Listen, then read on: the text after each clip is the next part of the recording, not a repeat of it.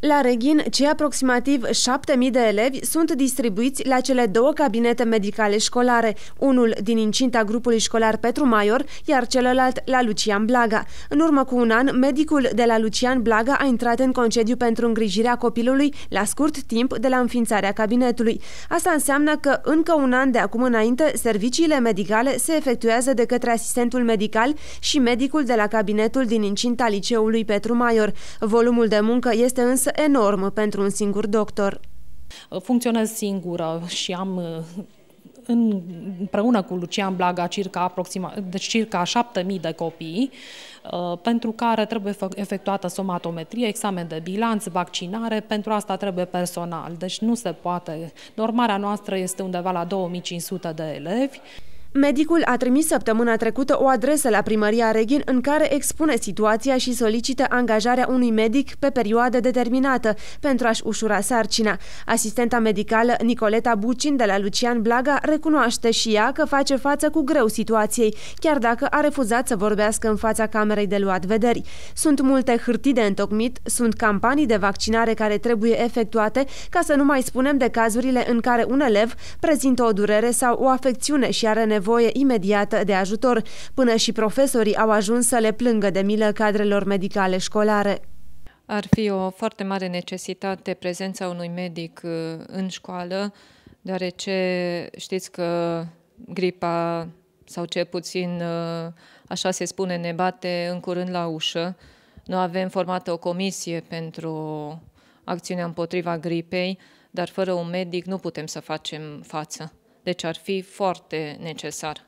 Doamna asistentă are un program infernal, elevii de multe ori se plâng de dureri de cap, de probleme care ar trebui să fie rezolvate, vin la noi, noi nu le putem rezolva.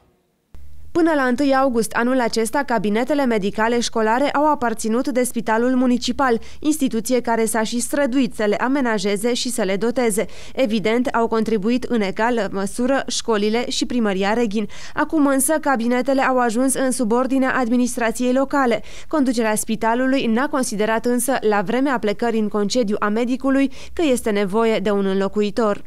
În cadrul liceului Lucian Blaga, este și, un, și acolo este medic și asistentă, uh, medicul fiind uh, la data predării în concediu de maternitate, atribuțiile fiind uh, preluate de către medicul de la liceul Petru Maior. Poate face față activității un singur medic?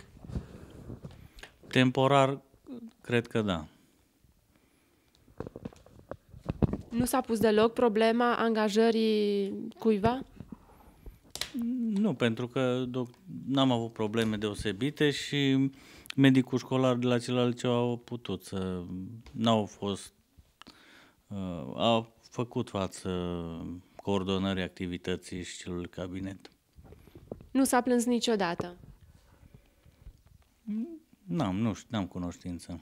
Întrucât cabinetele aparțin acum de primăria Reghin, am fi tentați să credem că rezolvarea problemei prin angajarea unui medic pe perioadă determinată stă la mâna primarului. Realitatea este însă alta. Dacă vă amintiți, guvernul a emis în primăvara acestui an o ordonanță cu privire la rectificarea bugetului de stat prevăzută după semnarea acordului de împrumut cu FMI și Comisia Europeană, care prevede blocarea posturilor din sistemul public ca măsură de reducere a cheltuielilor publice. Deci, guvernul îi lasă pe elevii reghineni cu un singur medic școlar.